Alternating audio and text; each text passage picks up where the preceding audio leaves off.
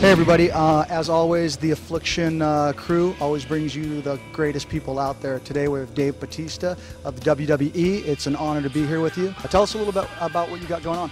Um, well, we're here today to get a little training in, and uh, also you've been good enough to help us with our fight against cancer. We're actually putting together a video and just showing some stuff of me training and stuff to, to fight cancer. We're going to raise money. In my, my now ex-wife has struggled with cancer for years, and uh, just trying to raise a little money. So we're going to put a little a little uh, video. It's it, you know we didn't put a lot of money into it. It's just from the heart. So we're going to put it out pretty soon. And it's really just uh, to raise awareness and raise money for cancer. We're doing the thing, hanging out here with Dave, trying to fight cancer. So all you fans out there, do everything you can to support our cause, and we coming. And you know, I'm not saying I'm the greatest. I'm just saying I'm the latest. So tune in.